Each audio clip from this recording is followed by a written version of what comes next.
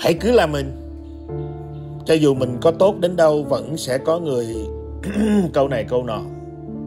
Đừng thanh minh, cứ mỉm cười kệ họ. Đó mới là cách xử sự khôn ngoan. Sống đẹp hay không là ở cái tâm, chứ đâu phải ở cái đầu thâm thúy. Nhìn đàng hoàng, chắc gì đã tử tế. Như vật ống ánh kia chưa hẳn đã là vàng. Ai đó xúc phạm và làm bạn tổn thương giữ bình tĩnh, đừng quan tâm đến nữa.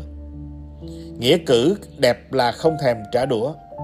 Bạn sâu sắc hay không chính là ở việc này. Khi biết chuyện gì, đừng vội nói ra ngay. Nghe chuyện gì cũng chớ vội tin bằng hết.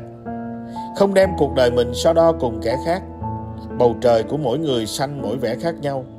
Cuộc đời mình mình làm chủ bấy lâu. Hà cớ gì đổi màu vì thiên hạ? Việc mình mình làm, miệng đời nghiệt ngã cứ thả sức khen chê.